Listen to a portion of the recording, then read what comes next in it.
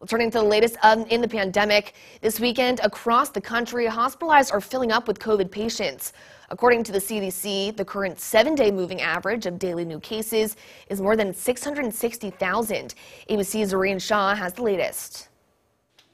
This morning, hospitals nearing their breaking point across the country. Over 80% of staffed ICU beds for adults now occupied. And cases exploding too. The U.S. reporting an average of over 614,000 cases daily, a six-fold increase from early last month. The number of COVID positive patients spiking in Southern California.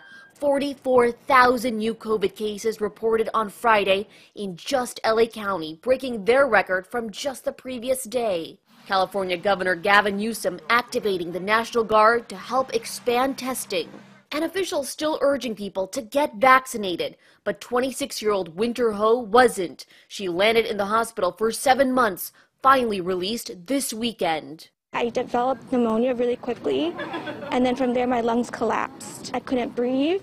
This pandemic has been terrible and really sad. I have seen people pass away many, many times in the hospital. In Wichita, Kansas, doctors are feeling the strain and saying they're just waiting for beds to open up. If you don't have ventilators, if you don't have certain things, there are some things you just can't manage yet. It's a daily occurrence where we get multiple phone calls and um, we're unable to help. And 40 hospitals in New York State now ordered to stop elective surgeries because of low patient capacity. This as CDC Director Rochelle Walensky comes under fire for confusion over her agency changing isolation and quarantine guidelines. This is hard, and I am committed and to continue to improve as we learn more about the science and to communicate that with all of you.